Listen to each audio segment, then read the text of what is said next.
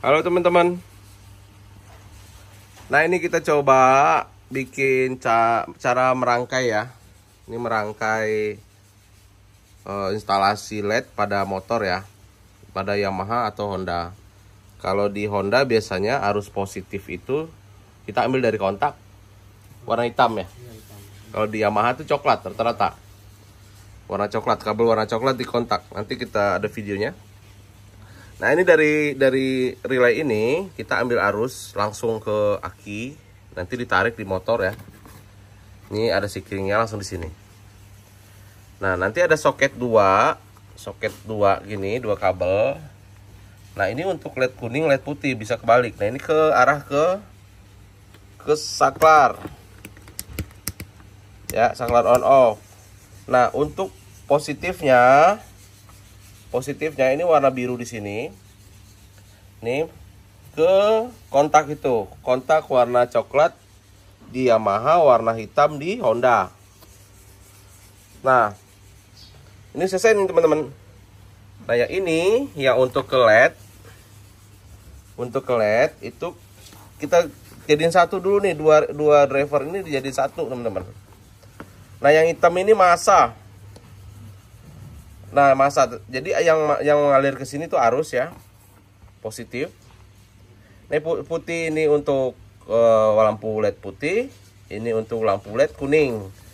Nah, dia ngalir ke sini teman-teman. Nah, kuning sama kuning sama kuning ini kuning, ini merah ini putih. Nah, nanti soket ini dapat teman-teman. Nah, rangkaian kabelnya masuk ke sini. Nah, begini rangkaian teman-teman.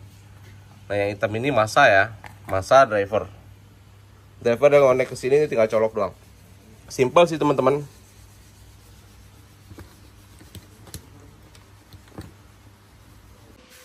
Halo teman-teman.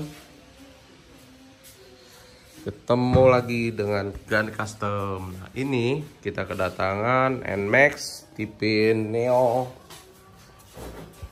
S teman-teman Nah sekarang kita mau coba pasang winglet Galaxy 16 Nah ini dia teman-teman wingletnya.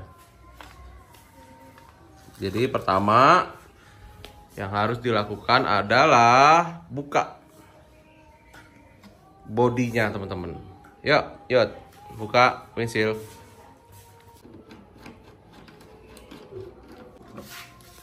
buka cover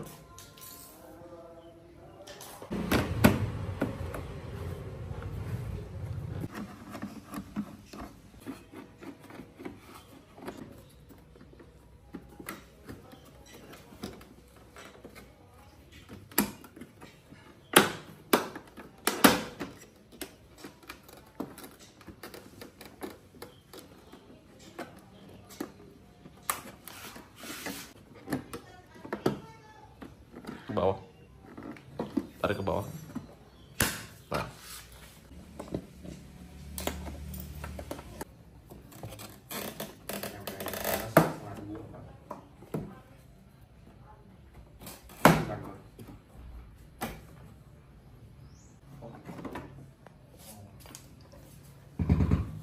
Nah, di sini ada bau tersembunyi, teman-teman. Di bawah sini. Nah, yang di sini. Nih, yang di sini bukanya gak sulit pakai obeng pendek dari dalam.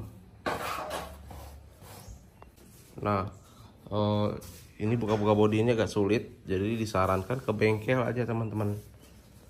Ini kalau semestinya buka semua nih karena kita nggak mau ribet kita main slip-slip di sini nih. Nah itu teman-teman kita ngambil arus buat buat relaynya on dan off itu dari dari soket soket di kontak warna coklat teman-teman. Nah itu.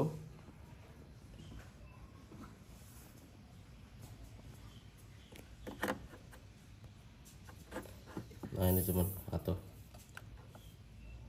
warna coklat kita buka. Relaynya teman-teman. Relay. Nah ini untuk ke aki ya. Kaki kita potong dulu biar nyangkut-nyangkut.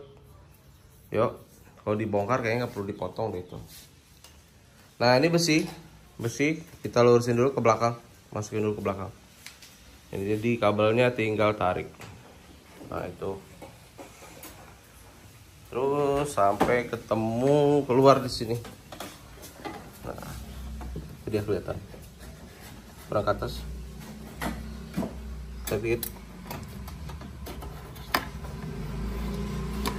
Belum. Kurang solid. Kaut ini diikat teman-teman.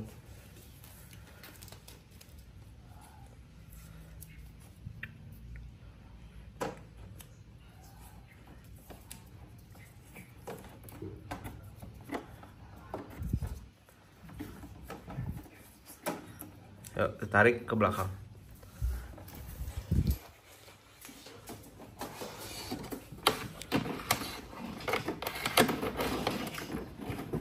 Itu. Oh, kurang. Nah, oke. Diikat dulu supaya nggak jatuh relenya.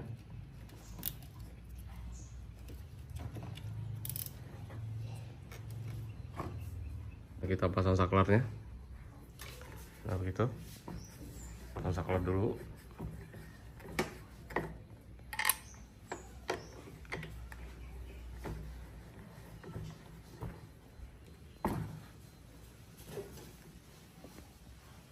masukkan kabelnya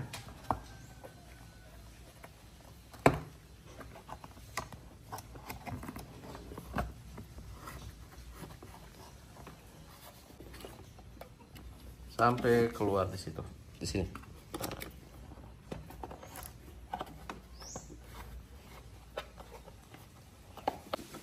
Nah karena kabel dari saklar itu pendek jadi kita tambahin teman-teman. Tambahin sekitar 10 cm deh ya. 10-15 cm kita lepas soketnya. Nah begitu udah dilepas soketnya yang warna coklat ya teman-teman. Warna coklat gitu tuh coklat tuh. Nah itu coklat. Coklat tua.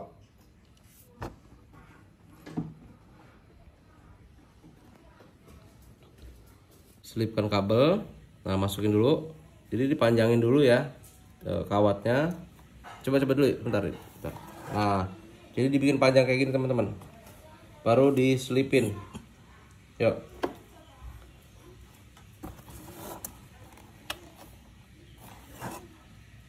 Kelihatan nggak? Nah, masukin situ terus yang coklat kabel coklat di dibengkokkan. Nah itu teman-teman. Jadi diselipin di situ di soket itu sekun kecil sekun laki jepit.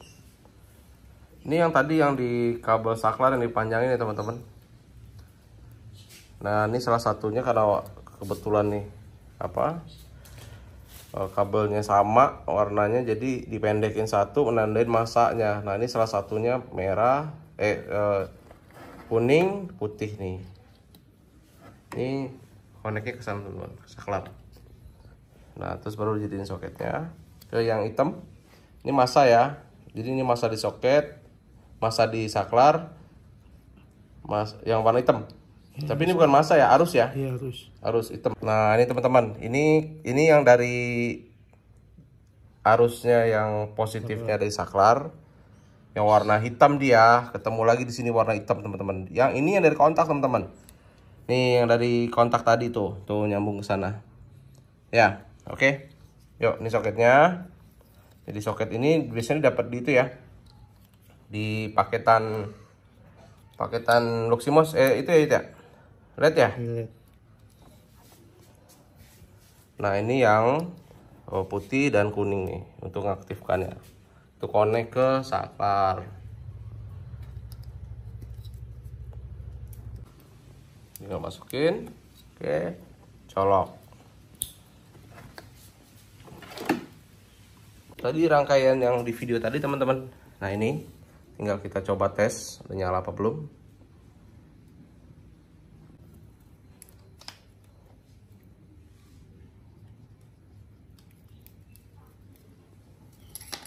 Sekarang baru kita konekin ke akinya teman-teman. Kenapa terakhir? Supaya kalau nggak nyenggol-nyenggol nggak konslet ya jadi untuk konek kaki itu harus yang terakhir.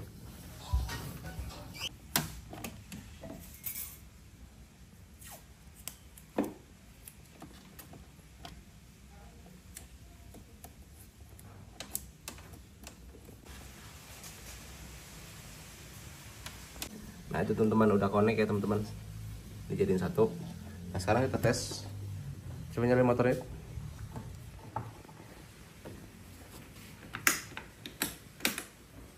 tes salah nggak? Coba kita cek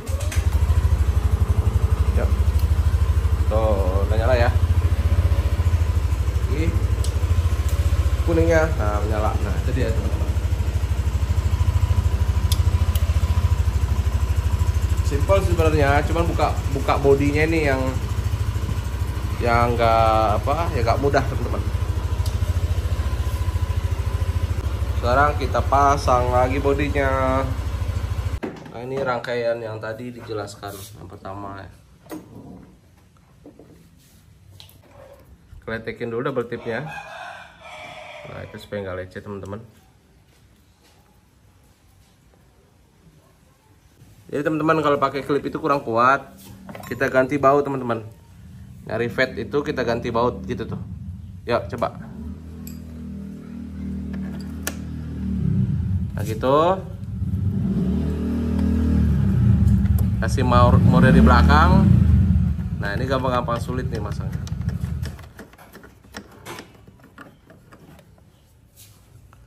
Nah gitu teman-teman. Ganti. Diganti baut. Nah, ini, ini jangan kendor dulu. Eh jangan maksudnya dikendorin dulu, jangan dikencangin dulu.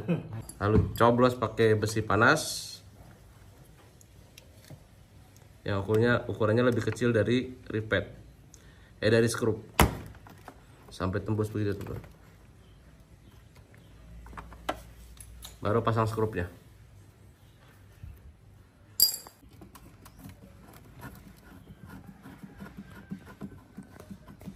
Bro.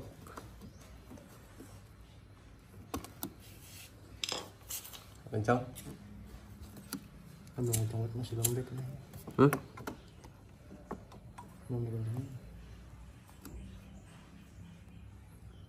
Bakar besi yang lebih kecil.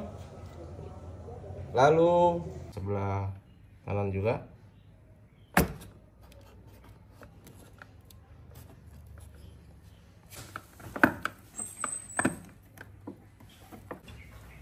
Nah, kita rangkai lagi rapiin ya kabelnya. Itu teman cara nyetelnya.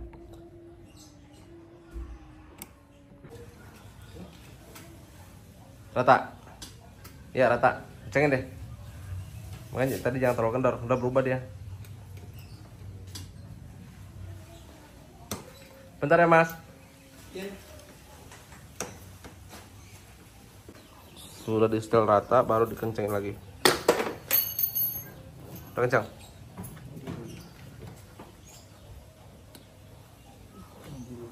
Berubah lagi, tar. Oke. Dah.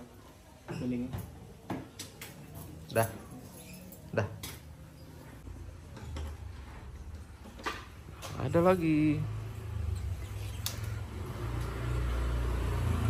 Nah, ini dia teman-teman udah jadi. Coba nyalain.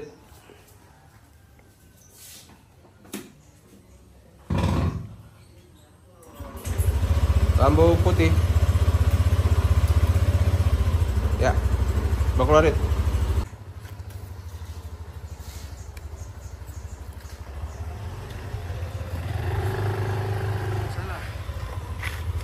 Ya, udah sana.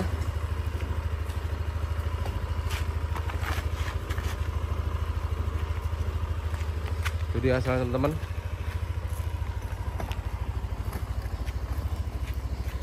Dan lampu putihnya yuk. Ya. Sekian terima kasih.